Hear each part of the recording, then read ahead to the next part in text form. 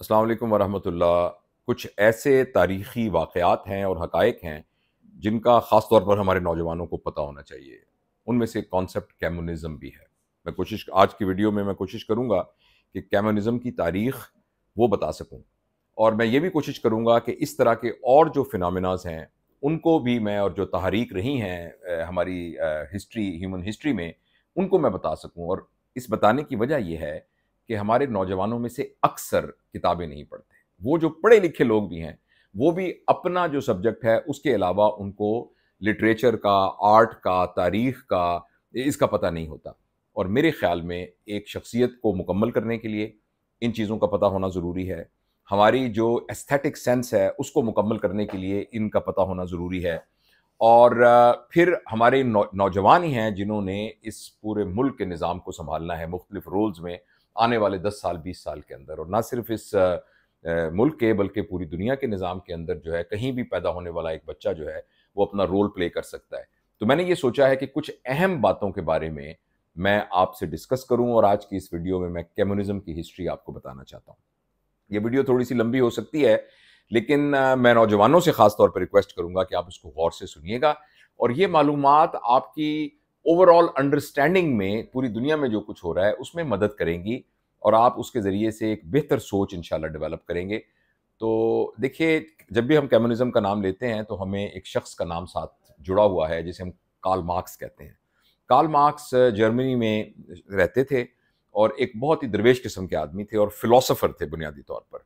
और उन्होंने, और वो जिस ज़माने में थे, ये वो ज़माना था जब इंडस्ट्रियल रेवोल्यूशन आया था और पूरी दुनिया में, और ख़ास तौर पर यूरोप के अंदर मशीनें लगना शुरू हुई थी। फैक्ट्रीज बनना शुरू हो गई थी और कारखाने और फैक्ट्रियों में जो मजदूर काम करते थे, उनके बहुत सारे मसाइल थे जो कार्ल मार्क्स ने देखे। मसलन ये कि उनमें जो मजदूर काम करते थे, छोटी उम्र के बच्चे भी और बूढ़े भी और नौजवान भी तो उनसे 12-12 घंटे 16-16 घंटे काम लिया जाता था। और जो उनकी वर्किंग कंडीशन थी, वो बहुत मुनासिब नहीं थी और उनको थोड़ा सा मुआवजा दिया जाता था। और अक्सर मुआवजा जो है वो कारखाने के जो मालिक हैं, सरमायादार हैं, उनकी जेब में चला जाता था। तो उस दौर में कार्ल मार्क्स ने 1848 में एक किताब या एक आर्टिकल लिखा जिसका नाम था मैनिफेस्टो ऑफ़ कम्युनिज्म उसमें उन्होंने अपने नज़रियात की वजाहत की। और जो तारीफ़ कम्युनिज्म की, वो ये है कि सब लोग अपनी सलाहियतों के बकदर काम करें। यानी एक आदमी जो बहुत सेहतमंद है और ज़्यादा काम कर सकता है तो वो अपनी सलाहियत के मुताबिक वो काम करेगा। जो बेचारा एक माजूर है तो वो अपनी सलाहियत के मुताबिक काम करेगा। यानी सब लोग अपनी सलाहियत के मुताबिक एक सोसाइटी में काम करें और उसके ज़रिए से जो कुछ हासिल हो, वो लोगों में तकसीम कर दिया जाए उनकी ज़रूरत के हिसाब से। जो उनकी ज़रूरत हो। और इस बुनियाद चूँकि सब लोगों की बुनियादी ज़रूरत को एड्रेस करना था, लिहाजा सब लोग अपनी अपनी सलाहियतों के हिसाब से उसमें हिस्सा डालेंगे। और लोगों में एक बराबरी की बुनियाद पर जो बेसिक ज़रूरतें हैं मसलन उनका खाना पीना उनका रहना उनका घर उनका लिबास इस ये तमाम ज़रूरतें जो हैं उनसे पूरी की जाएँगी। कार्ल मार्क्स का कॉन्सेप्ट एक कॉग्नेटिव लेवल पर और प्रैक्टिकल लेवल पर आ, होने की बजाय ज़्यादा फिलोसॉफिकल लेवल पर है। उन्होंने जो चीज़ें डिस्कस की हैं जिसको हम एक टर्म यूज़ करते हैं यूटोपिया यूटोपिक कॉन्सेप्ट्स यूटोपिया का मतलब होता है कि एक तस्वुराती जो खाका आप अपने जहन में बनाते हैं उसको यूटोपिया कहते हैं। तो उनका भी कॉन्सेप्ट जो था एक आइडियल क्लासिकल कम्युनिस्ट सोसाइटी का ये था कि सब लोग अपनी सलाहियतों के हिसाब से काम कर रहे हों और वो सब में बराबर तकसीम हो। जिसके नतीजे में पैसे की कोई अहमियत ना हो यानी ये मनी लेस सोसाइटी हो लोगों की ज़रूरतें पूरी हुई हो, रही हों और जितने भी वसाइल हैं यानी कारखाने यानी ज़मीन जहाँ से पैदावार हो रही है, और जितनी भी इमूवेबल प्रॉपर्टी है, यानी जो ज़मीन से मुतलक है, यानी कारखाना है, घर है, कोई और इमारत है तो इसका मालिक कोई एक शख्स नहीं होगा, बल्कि पूरे के पूरे लोग, पूरा का पूरा समाज उसका मालिक होगा। और ये यानी यानी किसी की जाती प्रॉपर्टी प्राइवेट प्रॉपर्टी हो ही नहीं सकती, और ये वाली सोसाइटी वो क्रिएट करना चाहते थे। और ये भी साथ उन्होंने ये कहा था कि जो कम्युनिस्ट सोसाइटी के अंदर जो मसाबात होगी रंग व नस्ल की बुनियाद पर जेंडर की बुनियाद के ऊपर या यानी मजहबी नज़रियात की बुनियाद के ऊपर किसी किस्म की कोई तफरीक नहीं होगी सब लोग बराबर होंगे और सब लोग जो हैं तमाम अपनी ज़रूरियात को बराबरी के लेवल पर होंगे कोई बड़ा नहीं होगा कोई छोटा नहीं होगा। तो ये एक बेसिकली कॉन्सेप्ट था कम्युनिज्म का। लेकिन इसके अंदर आ, उन नज़रियात को, चूँकि यूरोप में ये नज़रियात पनपे थे तो इस नज़रिए के, को प्रैक्टिकल शक्ल कैसे अख्तियार की जाएगी, ऐसी सोसाइटी बनेगी कैसी तो वो उनके जहन में कॉन्सेप्ट था कि जितने मेहनत कश हैं, जितने मजदूर हैं, वो सब के सब अपनी ताकत को इकट्ठा करके, जो वक्त का एक डिक्टेटर है, वो उसकी हुकूमत का तख्ता उलट देंगे। और उलट के फिर वो निज़ाम कायम करेंगे, जिसको हम कम्युनिज्म निज़ाम कहते हैं। तो ये एक इनकलाबी किस्म की सोच थी दास कैपिटस उनकी, उन, इकनॉमिक निज़ाम को समझने की किताब है और मैनिफेस्टो ऑफ़ कम्युनिज्म जो है वो उनका एक किताब है, अगर आपको मौका मिले तो आप उसको ज़रूर पढ़िएगा। अच्छा अब इसकी जो प्रैक्टिकल शक्ल हुई, वो जिन मुल्कों में हुई, उसमें से सर फहरिस्त रूस है। रूस के अंदर जार की हुकूमत थी, इन्हीं नज़रियात की बुनियाद पर मेहनत कशों ने और काम करने वालों ने इन्हीं नज़रियात को लेकर और लेनन की सरबराही में लेनन का नाम आपने सुना होगा, उन्होंने जार की हुकूमत का गालबन अगर ये एक दो साल ऊपर नीचे हो जाए तो मुझे माफ़ कीजिएगा 1917 में जार की हुकूमत का तख्ता उल्टा और वहाँ एक कम्युनिज्म निज़ाम जो है वहाँ नाफिज किया। जिसके नतीजे में जितनी फैक्ट्रियाँ थीं वो सारी गवर्नमेंट की कस्टडी में आ गई और जितनी और ज़रूरी ज़मीन थी वो भी उनकी कस्टडी में आ गई और यही कहा गया कि उन्हीं उसूलों के तहत आवर्स मुकर कर दिए गए कि आठ घंटे से ज़्यादा कोई काम नहीं करेगा दिन में और चालीस घंटों से ज़्यादा काम नहीं करेगा और मुआवजे उनके बेहतर कर दिए गए। लेकिन एक चीज़ जो कि ये चीज़ें तो हैं, बहुत अच्छी ये सब चीज़ें हुई, मगर एक चीज़ जिसकी कमी कार्ल मार्क्स के बताए हुए कम्युनिज्म निज़ाम में थी, वो ये थी कि अगर आप उसको एक ट्राइंगल बनाएँ तो नीचे वाली सब चीज़ें तो बहुत अच्छी लग रही थी कि मसावत होगी, सारे बराबर काम करेंगे अपनी अपनी सलाहियतों के बकदर और सबकी ज़रूरतें पूरी होंगी, कोई किसी का मालिक नहीं होगा इनहेरिटेंस नहीं होगी, कोई जायदाद आगे ट्रांसफ़र नहीं की जा सकेगी। लेकिन ऊपर का जो एक वैक्यूम था कि इस निज़ाम को आखिर गवर्न कौन करेगा? कौन होगा जो एक पूरा स्ट्रक्चर बनाएगा? ये वाली मालूम उसमें बहुत तफसील के साथ मौजूद नहीं थी। लिहाजा उस खाली जगह में एक बंदा होना ज़रूरी था, जो के ऊपर कंट्रोल करेगा। और वो बंदा जो था, वो उसकी मिसाल में लेनन था।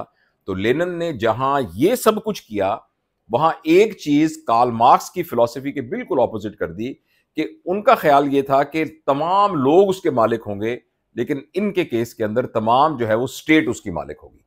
जब स्टेट उसकी मालिक होगी तो एक तरह से ये एक तरह की फिर एक और नई किस्म की, यानी कैमोनिस्ट डिक्टेटरशिप डेवलप हो जाएगी। और यही वहाँ हुआ।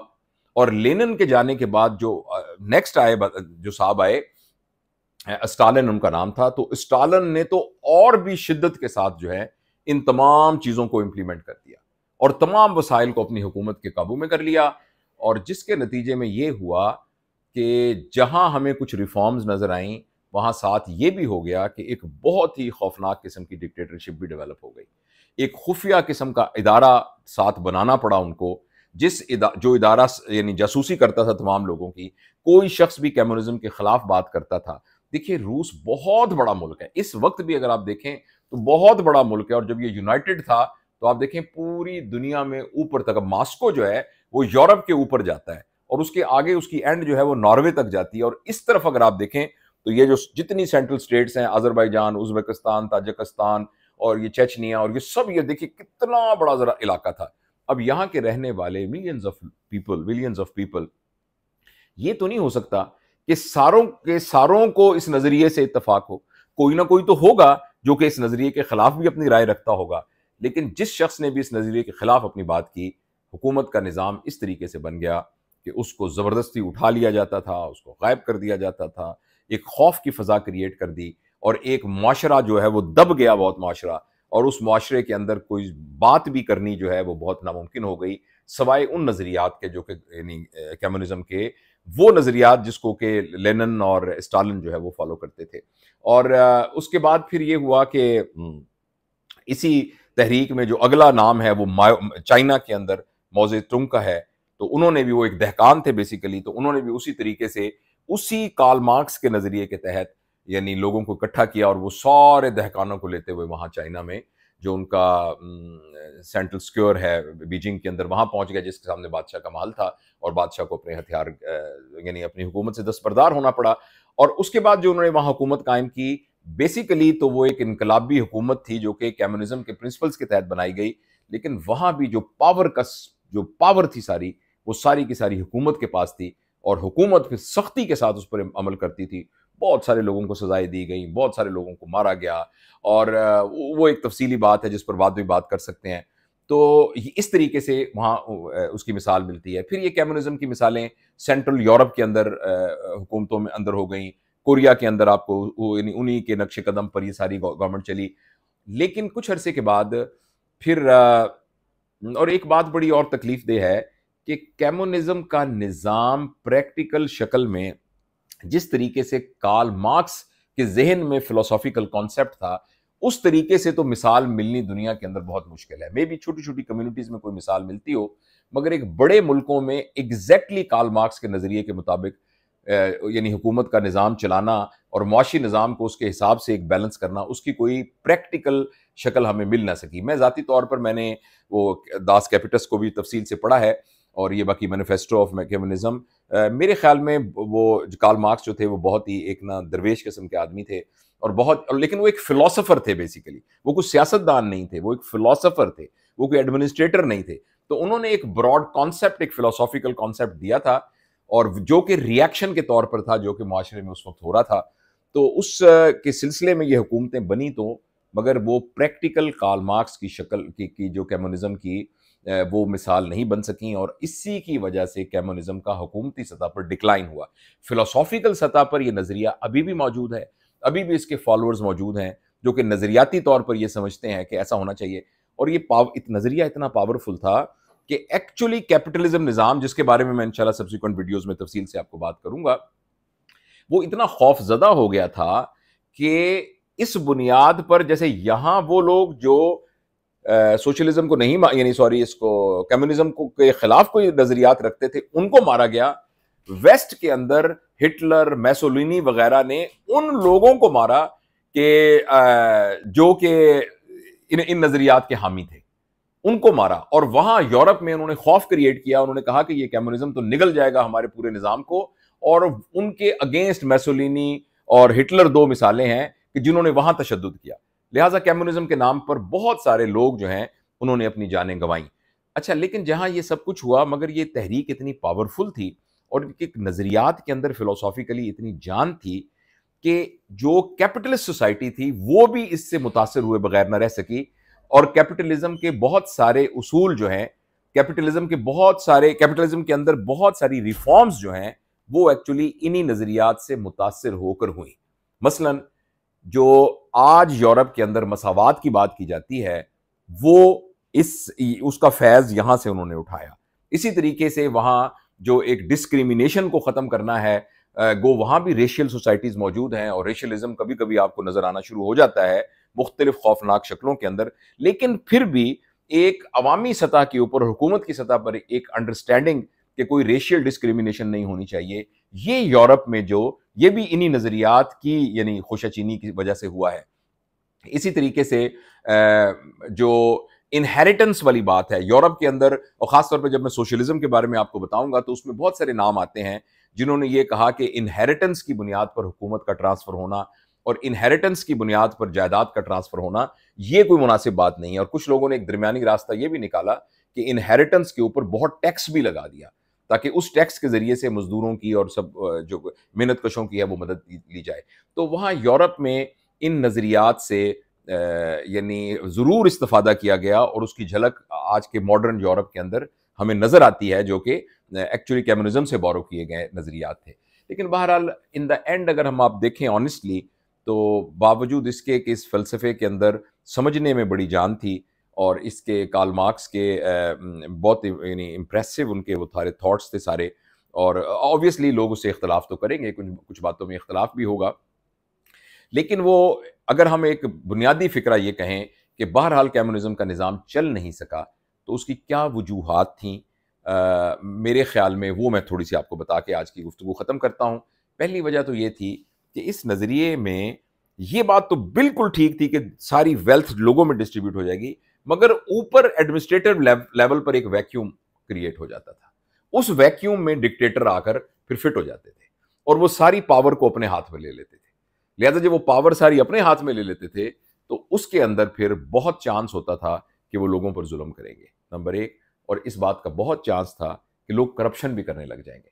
और पैसे के सिलसिले में करप्शन जो है, वो अब मतलब ये बहुत सारे इल्ज़ाम जो हैं, ये जो रशियन गवर्नमेंट्स और इनके अंदर मौजूद हैं कि जिसमें ये कहा जाता है कि ऊपर के हुक्मरान जो हैं बावजूद ये कि वो कम्युनिज्म के फॉलोअर्स हैं मगर ऊपर के लेवल पर बहुत ज़्यादा करप्शन फिर शुरू हो जाती है। और उसकी वजह से निज़ाम फिर अपने तमाम जो जो उसकी फ़वाद हैं उन सब उन, उन उनसे आहिस्ता आहिस्ता वो उसमें से मिस होना शुरू हो जाते हैं। तो एक तो बड़ी बात यह है और दूसरी बात यह है कि इसके अंदर जिन जिन जगहों पर ये हुकूमतें बनी उन्होंने इस बात की गुंजाइश नहीं रखी कि कोई इनके खिलाफ आवाज़ उठा सके कोई अपने नज़रियात को इनके अगेंस्ट जिसकी वजह से तशद और बाज़ात जुल्म की बहुत सारी कहानियों ने जन्म लिया। तो इस वजह से और दूसरा यह है कि ऑब्वियसली कैपिटलिज्म की अपनी जो ताकत फोर्स और उनकी अपनी जो एक पेनिट्रेशन है और जो पैरेलल साइंसी तरक्की वहाँ हुई है कैपिटलिज्म उन सोसाइटियों में जिनमें कैपिटलिज्म है, उन्होंने भी एंटेगोनिस्ट किया इसको और हतुल कोशिश किया कि इस निज़ाम को पूरी तरीके से वहाँ ना चलने दिया जाए। और ये जो कोल्ड वॉर हुई है, जो कि जिसमें, आखिर में रशिया जो टूटा है और वो भी एक्चुअली एक कैपिटलिज्म और इस निज़ाम के दरमियान एक जो शदीद किस्म की एक तरह का तनाव था, उसके नतीजे में ये सब कुछ हुआ है। तो बहरहाल मेरा इस वीडियो का मकसद ये था कि हमारे नौजवान जो हैं ख़ास तौर पर, वो इस हिस्ट्री से वाकिफ़ हों और कम्युनिज़म क्या चीज़ है उसके बारे में उनको पता हो। इसमें बहुत सारी चीज़ें ऐसी होगी, होंगी जो रह गई होंगी, बहुत सारी चीज़ें और हैं जिनकी एक्सप्लेनेशन की ज़रूरत है। तो मेरा ख्याल है एक अमूमी एक नज़रिया कायम करने के लिए तो ये वीडियो काफ़ी होगी। लेकिन अगर आप इसके बारे में मज़ीद जानना चाहें तो फिर बहुत सी किताबें हैं। उन किताबों को आप ज़रूर गो थ्रू करें तो इन आपको पता लग जाएगा। बहुत बहुत शुक्रिया। मैं कोशिश करूँगा कि मैं और ये जो इसी तरह के और फिनमिना हैं उनके बारे में लिबरलिज़म क्या होती है और सोशलिज़म क्या होती है लिबरल सोशलिज़म क्या होती है और कैपिटलिज़म क्या होती है तो मैं इन शजीज़ इनके बारे में भी आपके साथ कुछ ना कुछ अपनी गुजारिशात पेश करूँगा।